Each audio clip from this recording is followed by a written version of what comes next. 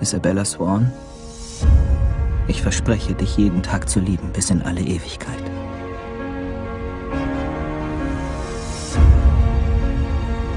Sie ist noch menschlich. Die Volturi geben keine zweiten Chancen. Wieso willst du nicht, dass ich so werde wie du?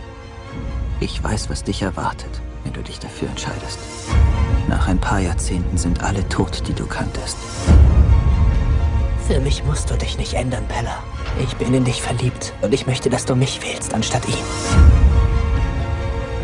Du solltest dich damit anfreunden, dass ich vielleicht besser für sie bin als du. Edward. Sie hat uns gefunden.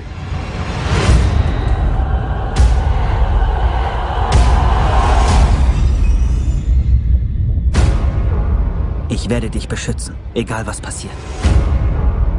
Du hast keine Ahnung, worauf du dich da einlässt.